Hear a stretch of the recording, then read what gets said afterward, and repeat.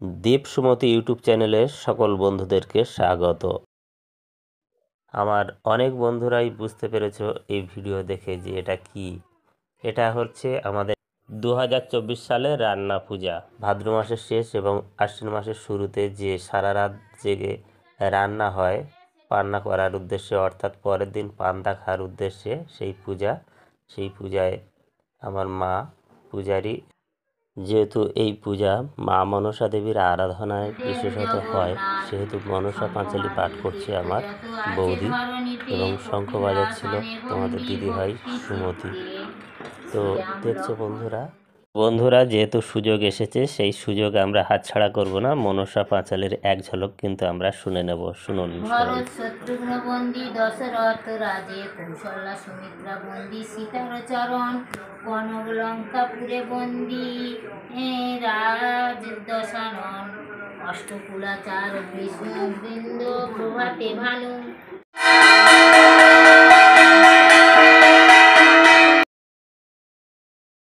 তো বন্ধুরা, পান্না মানেই কিন্তু পান্তার আয়োজন থাকে। এই পান্তার আয়োজনে আমাদের যে সমস্ত ব্যঞ্জনগুলো থাকে, তাদের মধ্যে সেগুলো হলো কুমড়ো ঘন্ট, ডাল চচ্চড়ি, চিচিঙ্গা ভাজা, আলু ভাজা, কলা ভাজা, ঢেঁড়স ভাজা, কড়াই ভাজা, চাটনি, এছাড়াও মাছ ভাজাও থাকে এই পান্তার আয়োজনে।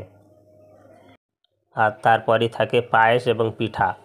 দেখছ বন্ধুরা, অনেকেই আমাদের এইভাবেই সারিবদ্ধভাবে কয়েক ব্যাচ বসে প্রায় দেড়শো জন লোকের আয়োজন থাকে এবং এই দিনটির জন্য আমরা অনেক আগ্রহে অপেক্ষা করি যে কবে আসবে এই রান্না পূজা এবং আমরা এই পরিবেশন করব, মানুষজনকে এভাবেই আনন্দের সহিত খাওয়াতে পারব, তার অপেক্ষায় কিন্তু আমরা থাকি।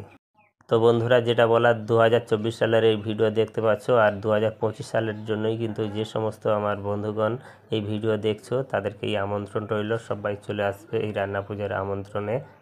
সর্বশেষ বন্ধুরা, তোমাদের দিদি ভাই সুমতি খেতে বসেছে। সারা রাত্রি জেগে রান্না করেছে তার যা, এর সাথে দুজনে মিলে এবং খুবই পরিশ্রম করেছে। তো বন্ধুরা, এই ছিল আজকের পর্ব। আর বন্ধুরা, এটা আমাদের ঘরের ঠাকুর। ঠাকুরের কাছে এটাই প্রার্থনা। আবার যেন প্রতি বছর এমন করে আমাদের এই রান্না পূজা আসে। সবাই ভালো থাকুন, ভালো রাখুন।